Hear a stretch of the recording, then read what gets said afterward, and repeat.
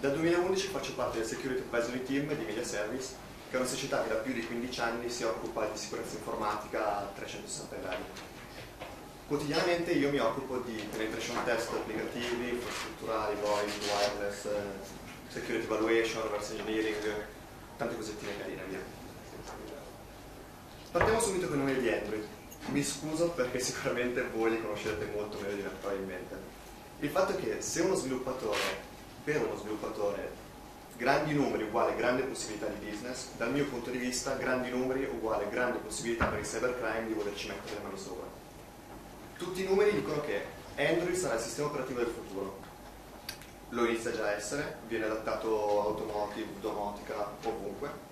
E gli smartphone tendono ad essere per il consumatore quello che sono attualmente i PC per tutti noi.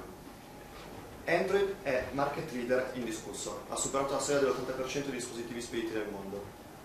E sono stati attivati più di 900 milioni di dispositivi fino all'entro 2013, se non sbaglio adesso sono stati attivati più di un miliardo di utenze. In più trend di crescita incredibile, oltre 48 miliardi di applicazioni installate, un trend di crescita veramente spaventoso. Seguendo questi numeri, ci interessa la sicurezza dei nostri dispositivi? La risposta è assolutamente sì.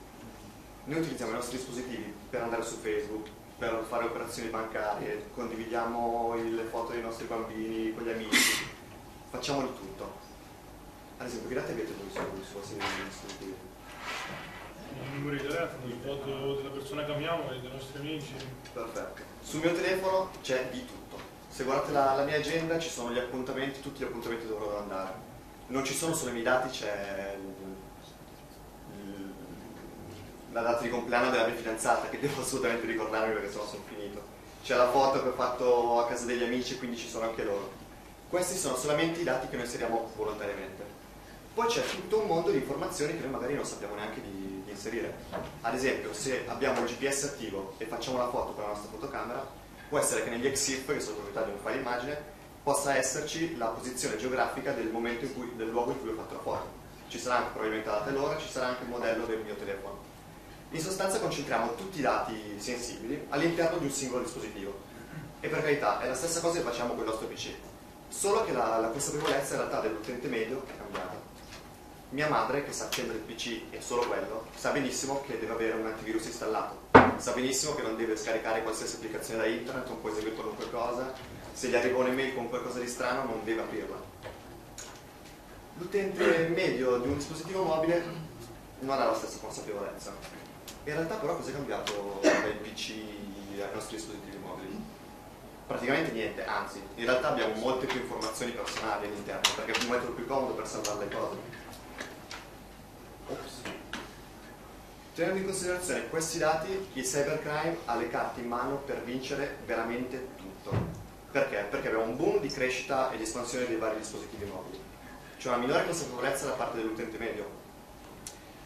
Come abbiamo detto, i nostri dispositivi sono pienissimi di informazioni personali e cosa da non sottovalutare assolutamente, i dispositivi mobili sono il metodo più semplice e veloce per monetizzare una truffa Cosa vuol dire? Che il cybercrime ha sempre difficoltà nel monetizzare. Ad esempio, sui PC sono state create varie metodologie, vari processi.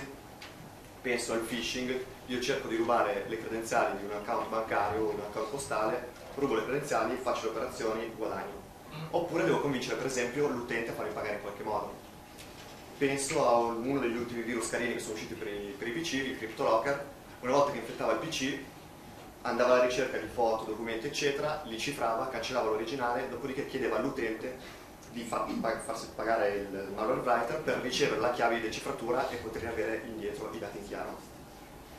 Per quanto riguarda invece il mobile è tutto molto più semplice, nel senso io, malware writer, creo un, uh, un servizio di quelli a pagamento, di 199, poi creo un'applicazione che mi manda messaggi e mi, mi, chiama al mio numero e ogni volta che questa azione avviene io ho un guadagno immediato, pulito, veloce, semplice. Tenendo queste considerazioni a mente, vediamo un attimo la tassonomia del, del malware. Il grafico che vedete è il Micro, che è una casa sviluppatrice di antivirus, nel periodo febbraio-giugno 2013. Al primo posto troviamo il, ehm, i Premium Service Abuser, che sono esattamente quello che dicevo prima, il metodo più veloce per monetizzare. Malware Writer crea il servizio, manda messaggi, manda chiamate, tutto nascosto all'utente, guadagno immediato. Bene, finito. Data Stealer, i nostri dati valgono tantissimo. Esiste un mercato nero, che è un mercato alternativo, dove c'è la compravendita di dati personali, ma anche numeri di carte di credito, di tutto. I nostri dati in realtà valgono soldi. I data stealer fanno questo, infettano il, infettano il dispositivo e mandano al creatore del malware varie informazioni, numero di telefono, email del dispositivo, voto, sms, tutto quello che possono lo mandano. AdAware sono un'altra categoria di malware che permette di monetizzare velocemente. Cosa fanno? Inseriscono pubblicità in maniera fastidiosa, magari negli sms, magari nelle notifiche urgenti del dispositivo e così via. Proseguendo ci sono i malicious downloader, scaricano altre applicazioni, altro malware, l'importante è che non lo facciano senza il consenso del, dell'utente, hacking tool, backdoor, remote controller, eccetera. Praticamente fanno delle operazioni malevole e eh, permettono di eseguire comandi remotamente.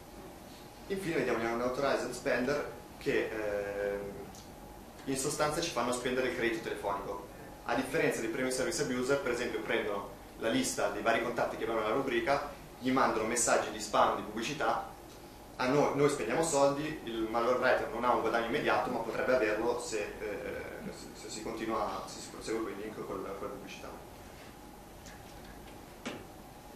Quindi quanti sono, quanti sono le applicazioni malevole su Android? Secondo, sempre secondo Trend Micro, dal 2010 al 2013 sono state rilevate sui dispositivi più di 350.000 applicazioni malevole o malware, inteso come applicazioni che non facevano operazioni legittime. La cosa interessante secondo me è che notare che in tre anni è stata raggiunta la stessa cifra che abbiamo raggiunto dopo 14 anni di PC come numero di applicazioni malevole. 14 anni infine è un numero infinito se pensiamo che nel, nel periodo gennaio-giugno 2013 la cifra delle applicazioni malevole è più che raddoppiata e a settembre ha superato il milione di unità. C'è da dire che la maggior parte delle applicazioni, uno, non erano sul market ufficiale, due, funzionavano sfruttando la popolarità delle, delle applicazioni più conosciute. Esempio, prendevo dal market l'applicazione in voga in quel momento, la modifico, ci metto dentro i miei dati, la pubblico su un market eh, non ufficiale. Oppure, non so se vi ricordate quando Rasol eh, era ancora molto in voga, c'erano le varie applicazioni trucchi Rasol, cheat Rasol, eccetera, facevano sì delle operazioni, ci aiutavano poi il risultato, però dall'altra parte potevano anche rubarci parecchi dati.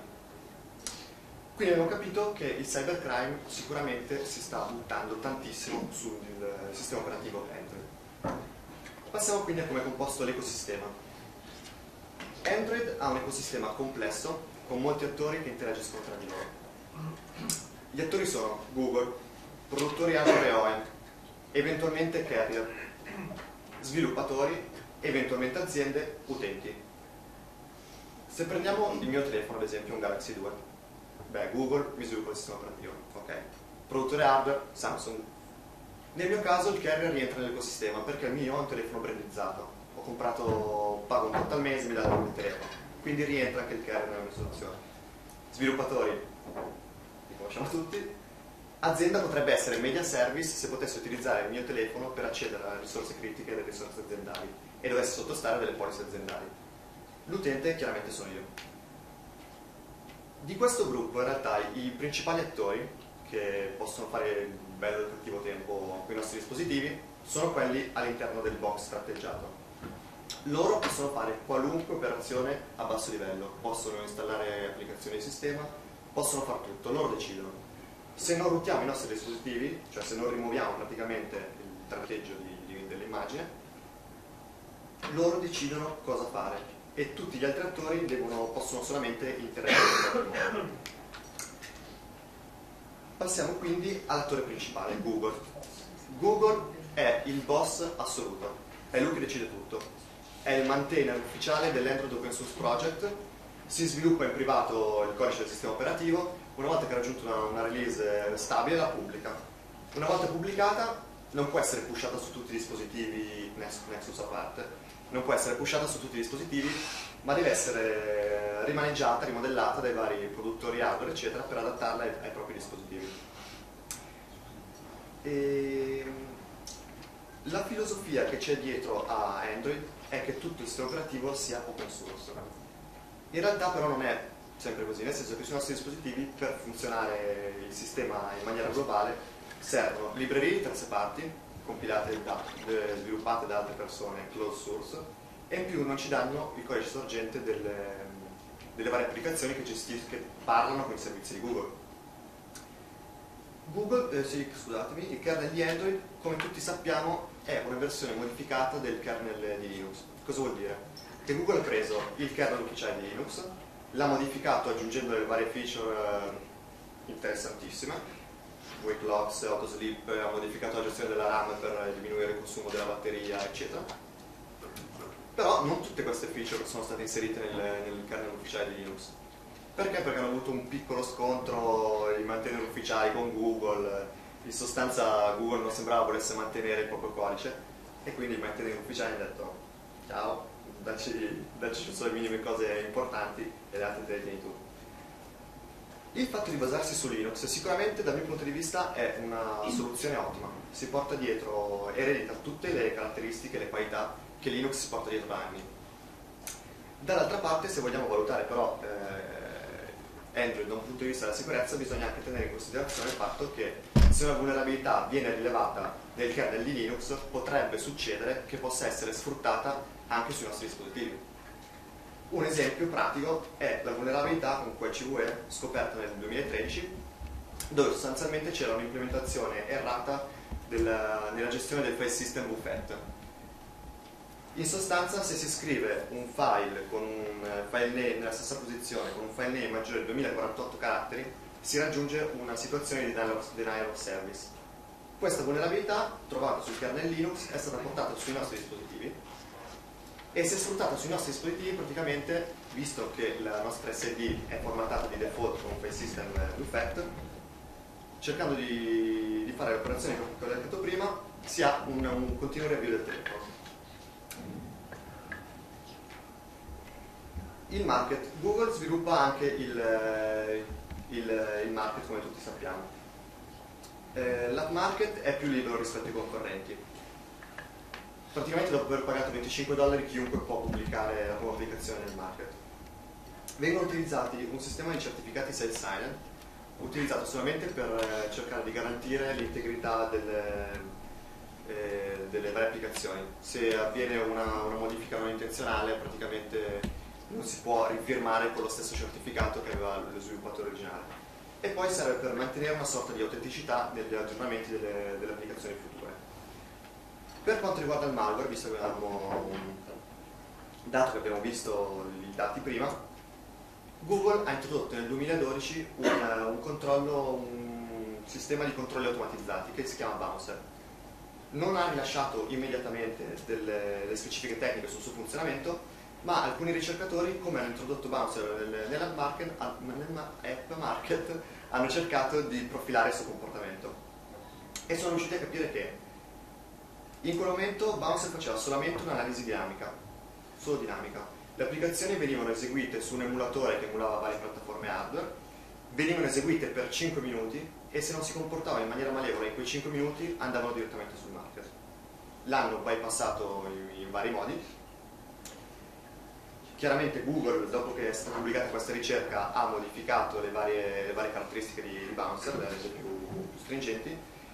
Il discorso è che se un malware writer fa la stessa operazione che hanno fatto i ricercatori, in qualche modo cerca di profilare bouncer e supera bouncer, boh, ha a disposizione la sua applicazione va nel market e a disposizione praticamente un bacino d'utenza di, abbiamo visto, più di 900 milioni di dispositivi, praticamente chiunque.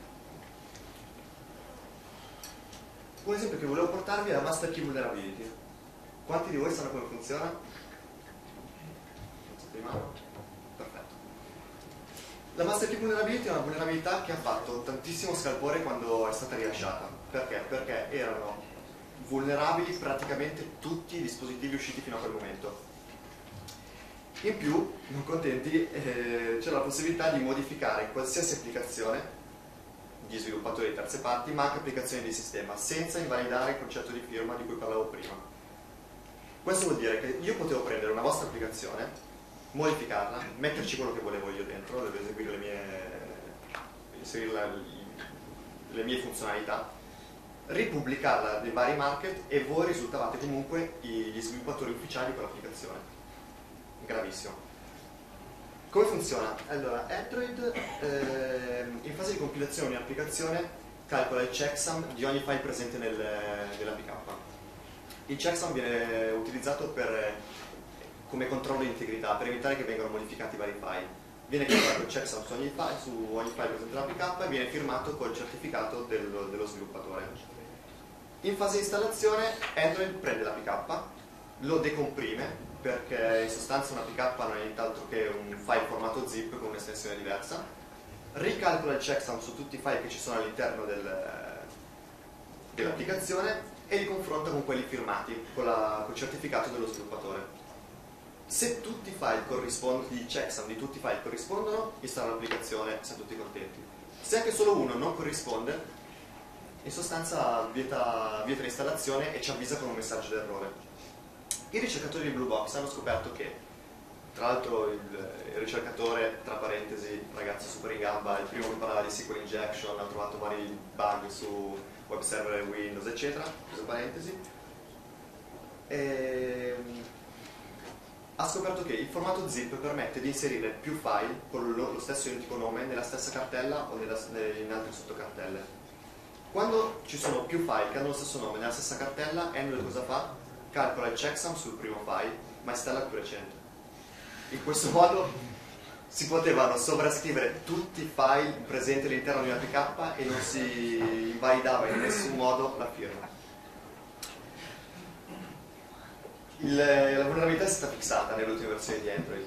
Il market è stato modificato per evitare che ci fossero applicazioni che sfruttassero questa vulnerabilità. Il problema, se il mio telefono viene aggiornato, io sono sempre vulnerabile se vi dovesse interessare di più su questa, su questa vulnerabilità c'è un'applicazione del ricercatore che l'ha scovata sul, sul, sul black market che controlla se sul vostro, prima di tutto se il vostro sistema operativo è ancora vulnerabile e poi fa un controllo su tutte le applicazioni se ne esiste qualcuna che ha sfruttato questa vulnerabilità. Ok, il secondo attore dell'ecosistema che prendiamo in considerazione i produttori hardware sono eh, fisicamente quelli che creano i, le varie componenti dei nostri dispositivi e assemblano i nostri dispositivi. Differenziano dagli OEM perché gli OEM fanno produrre il dispositivo da società di terze parti, da altre, altre aziende, dopodiché comprano i dispositivi e li pubblicizzano, li pubblicizzano col, proprio, col proprio marchio. Questi attori possono fare tutto quello che vogliono con i nostri dispositivi, nel senso che come abbiamo visto prima, devono prendere il kernel di, di Android, modificarlo e adattarlo per hardware dei vari dispositivi. In più possono aggiungere eh, applicazioni a livello di sistema che un utente, se non ha rotato il dispositivo, non può neanche cancellare.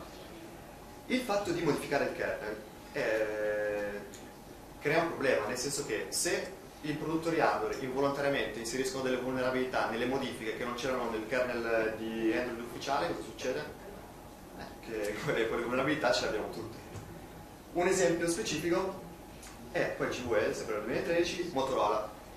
Gli sviluppatori di Motorola, Motorola per adattare il driver video a un proprio modello di dispositivo, cosa hanno fatto? Hanno, hanno fatto un errore, sono sbagliati, hanno permesso di sfruttare un integer overflow che se sfruttato portava una privilege escalation in parole povere, eh, si poteva, sfruttando quell'integer overflow, si poteva routare quel dispositivo, solo quel modello, solo quel tipo di dispositivo. Come dicevo, possono installare anche applicazioni di sistema. Caso tipico, 2011 HTC Logger. Quanti li conoscono? eh, HTC Logger, Logger. Questa applicazione veniva installata di default su vari modelli di, vari modelli di HTC e cosa faceva?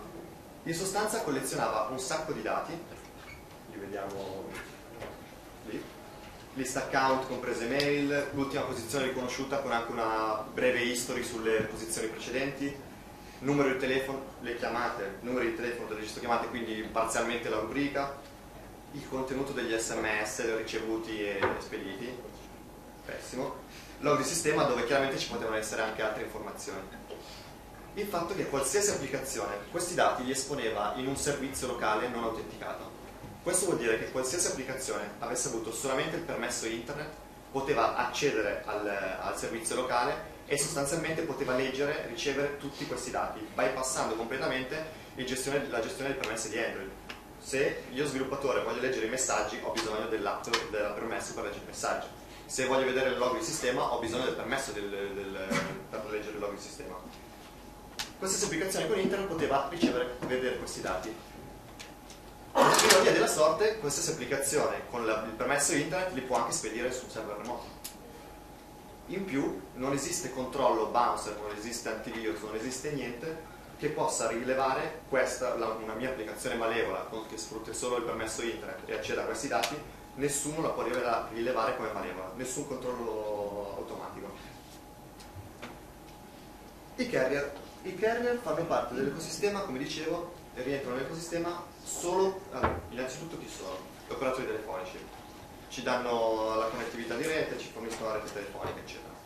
Rientrano nel sistema quando noi, nell'ecosistema, quando noi sottoscriviamo gli abbonamenti classici che ho io, quindi i telefoni brandizzati. Paghi un tot al mese, ti danno il cellulare. Cosa possono fare? Possono aggiungere anche loro a loro volta applicazioni notizia secondo me interessante è il fatto che stanno iniziando a introdurre delle, delle, policy, delle, policy, delle, delle piccole soluzioni di sicurezza, tipo ci preinstallano gli antivirus, oppure altri carrier sono a conoscenza che effettuano una, una sorta di, di, proxy, un filtro, si mettono in mezzo tra il nostro dispositivo e internet e filtrano tutte le connessioni che vedono passare. Cercano pattern malevoli, se vedono che nelle nostre connessioni c'è qualcosa che non funziona ci bloccano la connessione al di là del fatto delle varie implicazioni di privacy che vuol dire che sanno esattamente quello che noi vediamo. Al di là di quello facilmente bypassabile perché se io mi connetto a un access point wireless io per esempio in prima persona appena posso utilizzo un access point wireless se mi fido bypasso completamente questo controllo. In più il controllo viene fatto solamente su, sui protocolli non cifrati. Se un pattern malevolo viene trasmesso attraverso un, un protocollo cifrato l'HTTPS i carrier non possono fare niente per aiutarmi come dicevamo, possono installare applicazioni loro. Un altro caso che fa sorridere, chi lo conosce? No. CarrierIQ. Sempre 2011, stesso ricercatore. Perfetto. CarrierIQ eh, è una società sviluppatrice di un software particolare. Questo software, a loro, a loro dire, installa era installato su più di 150 milioni di dispositivi, non solo Android ma anche prime versioni di iPhone, eh, Nokia, vari, vari cellulari diciamo. Cosa faceva questa applicazione? Collezionava informazioni decisamente sensibili, funzionava come una sorta di keylogger. La differenza rispetto all'HTC Logger che abbiamo visto prima è che inviava tutti i dati remotamente ai server di CarrierIQ. Praticamente aprivo un'applicazione e inviavo al server, server di CarrierIQ. Inviavo, mi arrivava un sms, a loro dire non vedevano il contenuto, comunque vedevano che mi arrivava un sms ricevevo una chiamata, stessa identica cosa, inviavo le mie statistiche di posizione, aprivo col browser un sito e loro vedevano la URL del sito che stavo visitando. Una porcata senza senso. E... Ehm, questa, il ricercatore che ha trovato questa, questa problematica chiaramente l'ha pubblicata ed è successo, si è aperto un dibattito in USA per problemi di privacy perché come potete immaginare se ho un keylogger installato di default sul mio dispositivo ci fa un po' storcere il naso un po' tutti penso. Sviluppatori, altro attore non voglio dilungarmi sugli sviluppatori perché ci vorrebbe un talk specifico solo per parlare di come si sviluppano le applicazioni di sicure quello che, di cui volevo parlarvi vi ho portato due esempi di due applicazioni molto in voga, che non sono state concepite con il concetto di security dall'inizio. La prima applicazione è WhatsApp. WhatsApp fino all'anno scorso, all'inizio dell'anno scorso, utilizzava un protocollo di comunicazione non, non cifrato, insicuro. Cosa vuol dire? che se io con il mio cellulare andavo all'aeroporto e mi attaccavo al wireless dell'aeroporto, in azienda usavo il wireless dell'azienda, al Droidcon utilizzavo il wireless del Droidcon, se una persona si fosse messa a intercettare il traffico, che tra l'altro è un'operazione abbastanza semplice, anzi direi, direi proprio semplice, poteva vedere esattamente tutte le comunicazioni scambiate con WhatsApp in quel momento per, da tutte le persone che utilizzavano quell'access point.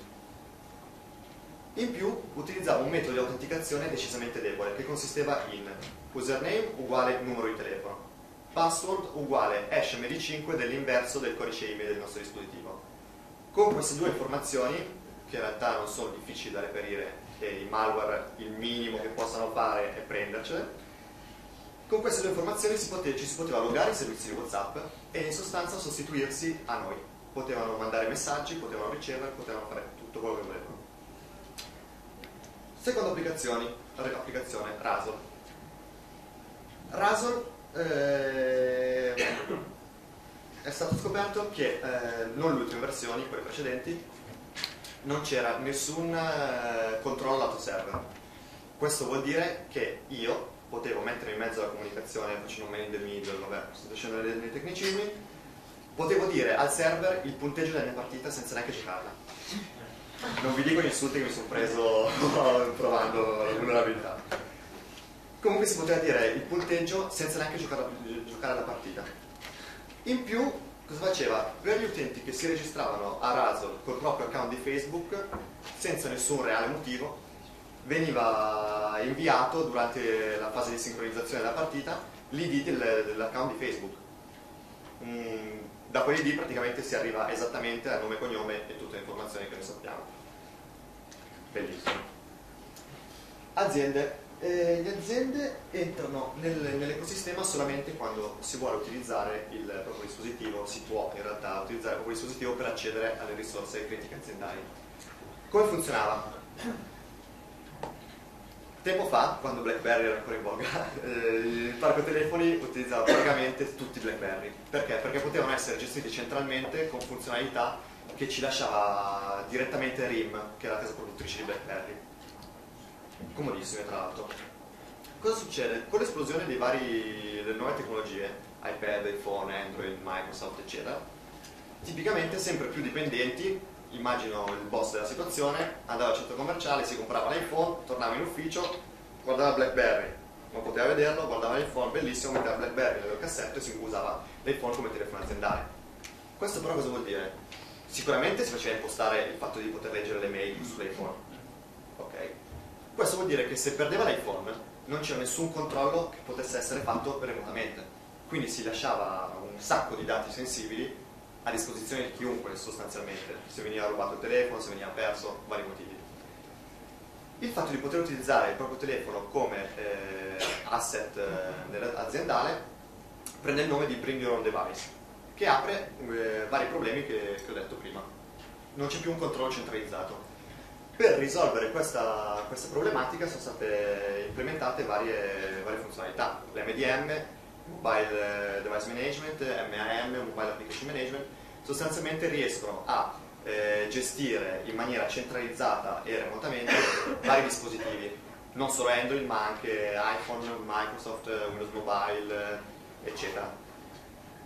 Un caso carino è in eh, un ospedale inglese, per esempio, dove ai vari medici viene dato eh, la possibilità di utilizzare il proprio dispositivo Android con una soluzione di MDM. Che cosa fa? Gli tiene sempre il wireless attivo. Quando il medico entra in ospedale riescono a triangolare la sua posizione attraverso la potenza del segnale dei vari access point eh, dislocati nell'ospedale e in base a dove si trova disattivano o attivano la fotocamera in modo da evitare che si possano divulgare informazioni sensibili. Arriviamo quindi agli utenti.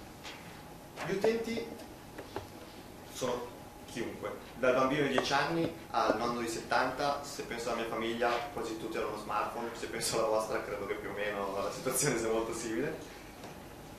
Il problema è che l'utente deve prendere delle, delle, delle decisioni che non sempre sa prendere. Ad esempio, se parlo a mio padre di encryption, prima di tutto si mette a ridere, mi dice ma parlami in italiano per favore, quando gli spiego che quali sono le problematiche se non dovesse cifrare il cellulare, mi dice ah vabbè ma chi se ne frega tanto i miei dati che vuoi che interessino ecco Questa qua è la reazione tipica dell'utente medio.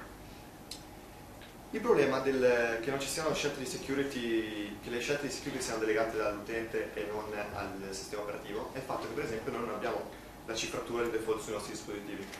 Se noi perdiamo il nostro telefono, il primo pinco pallino che passa ci toglie l'SD, se la mette nel computer e accesso completo a tutta la nostra SD, minimo. Un altro problema che lo differenzia, che differenzia Android rispetto ai propri concorrenti è il fatto che si possono installare applicazioni di terze parti del market alternativi. Innanzitutto questa funzionalità è quella che ha portato tutti i numeri del malware che abbiamo visto prima. Quasi tutti derivavano dalla possibilità di installare applicazioni di terze parti. E in più c'è il fatto che eh, sempre l'utente medio, sempre mio padre, poverino, lo tiro sempre in mezzo, se, si, se vuole, gli interessa un'applicazione, non guarda neanche cosa sono i permessi, non gli interessa, non sa neanche, non gli interessano nemmeno va, installa, buon, finito, contentissimo, poi felicissimo, i malware writer sono più felici di lui, buon, tutti contenti, si va a casa felici. Arriviamo quindi al problema al dente dolorante di Google, il patching. Il patching è un problema grosso e di difficile soluzione. Perché? Perché Google si sviluppa il, il codice, come dicevo prima. Lo rilascia, lo pubblica nell'Android Open Source Project, Dopodiché, prima di arrivare all'aggiornamento, alla release ai nostri dispositivi, sempre Nexus a parte, deve essere rimaneggiato dai vari produttori hardware che devono adattare, come dicevo prima, le varie, le, i vari driver ai propri dispositivi. In sostanza, Google sviluppa il codice, lo testa, benissimo, funziona, lo pubblica, lo prende il produttore hardware, cosa fa? Modifica il codice, scusa il driver, scusa il test, lo passa, inserisce, fa vari, le varie personalizzazioni, inserisce le varie funzionalità e le varie applicazioni, lo passa al carrier il carrier a sua volta modifica, le, aggiunge le sue applicazioni, lo testa e lo fa arrivare all'utente finale. Ogni passaggio chiaramente dilata il tempo che ci vuole da, per un aggiornamento, per un, una release, arrivare da Google all'utente finale. In più c'è il problema che eh, è stato stimato come la vita media di un, un dispositivo è 18 mesi. Vuol dire che un utente prima di 18 mesi, entro 18 mesi, si cambia dispositivo e l'applicare patch, modificare il codice è un consumo di risorse in termini di tempo, in termini di soldi, in termini di risorse uomo, non indifferente. Quindi i produttori hardware preferiscono eh, prioritizzare gli aggiornamenti delle ultime versioni dei dispositivi piuttosto che aggiornarli tutti. Questa però chiaramente è una problematica grave, nel senso che il mio dispositivo è ancora vulnerabile adesso alla master key vulnerability eh, se Google la Master Key Vulnerability me la patcha in tre giorni e l'aggiornamento per la Master Key Vulnerability mi arriva dopo sei mesi, vuol dire che io in quei sei mesi sono completamente vulnerabile. E se non rooto il mio dispositivo e non posso applicare dei patch o mi installo ad esempio una, la Cyanogen mod che aveva patchato subito con la vulnerabilità, io sono per quei mesi, quei sei mesi sicuramente vulnerabile, ma potrei anche rimanere a vita se nessuno decide, che, se qualcuno decide che il mio cellulare non deve essere più aggiornato. Per cercare di risolvere la problematica del patching, Google cosa ha fatto? Eh, nel 2011 ha dichiarato l'esistenza della Android Update Alliance, che in sostanza è un'associazione dei grandi produttori di device con Google, si dovevano mettere d'accordo, fare una cosa bellissima, aggiornare tutti i dispositivi, aggiornare subito, velocemente. Il problema è che il giorno dopo che l'hanno dichiarato, quella cosa lì non esisteva più, morta, finita. Nessuno sapeva più niente. Allora cosa ha fatto Google? Nel 2012 ha cercato di eh, separare alcune caratteristiche del, del, sistema in modo da poter aggiornare direttamente dai loro server alcune funzionalità core del sistema. Ad esempio il Play Market viene aggiornato in automatico senza che noi ce ne rendiamo neanche conto. Per fare questo utilizza un servizio che si chiama Google Play Service, che fa appunto quello. Aggiorna, cerca di creare una separazione sul, nel sistema operativo e dà la possibilità di aggiornare direttamente da Google senza aspettare una release completa. Arrivando alle conclusioni, Android non è il valore assoluto più debole o più problematico di, dei suoi concorrenti. Il fatto qual è? Che Android, come abbiamo visto, è il sistema operativo del futuro, utilizzato in ogni dove. Tecnologie indossabili, domotica, automotive, se non sbaglio ho letto qualche giorno fa che hanno stretto degli accordi con varie case automobilistiche per entrare pesantemente nel mercato dell'automotive e il fatto è che il cybercrime va dove c'è il bacino d'utenza maggiore Prima tutti usavano Windows XP, perfetto. Cybercrime si buttava tutto a cercare vulnerabilità, a cercare di sfruttare, a cercare metodologie per Windows XP. La maggior parte dei consumatori utilizza Android, perfetto. Il Cybercrime cerca di buttare tutti i suoi sforzi per cercare di sfondare quel- quella situazione. In più, i dispositivi mobili in generale hanno una superficie d'attacco enorme, veramente vastissima. Solo che non è ancora inesplorata, noi abbiamo visto solamente la punta dell'iceberg ancora. Non ci sono, perlomeno io non sono a conoscenza, non so se qualcuno di voi lo è, di exploit remoti che ad esempio ci infettano il dispositivo solamente sfruttando le vulnerabilità del browser mentre noi andiamo a visitare un sito. Oppure i pagamenti NFC saranno sempre più diffusi probabilmente e credo sia sicuramente un- uno dei vari posti dove il cybercrime si andrà a buttare. Se ci sono soldi è facile che un orecchio ce lo butti. In sostanza, secondo me, sia dal punto di vista di Android, sia dal punto di vista della sicurezza, ci sarà decisamente da divertirsi nei prossimi anni. Per te. Grazie per l'attenzione. Per te.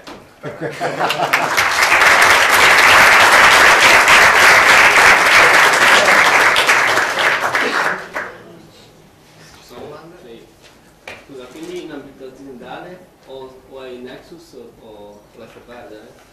No, no, no. La- l'MDM viene utilizzato con una gestione centralizzata.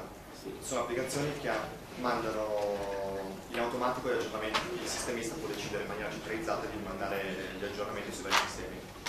Il fatto del, del patching è sicuramente un problema. Quindi rimane il problema. Rimane un grossissimo problema sicuramente, poi chiaramente non puoi ruotare il dispositivo perché non esiste azienda che ti permette di ruotare il dispositivo, quindi sì, effettivamente è un problema. Non so se la soluzione è Nexus sinceramente, non so se neanche viene presa in considerazione Se uno si compra l'HPC Giro in ambito aziendale in teoria è fuori perché dovrebbe essere fuori perché Esatto. per lo stesso documento.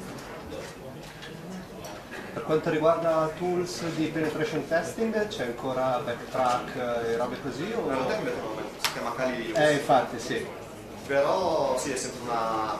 Cioè, in comunque sia ognuno, ognuno fa il toolkit usa un po' la che propria usi. metodologia. Certo. Io non uso una distro customizzata, ho la mia distribuzione, mi installo i miei tool, eccetera.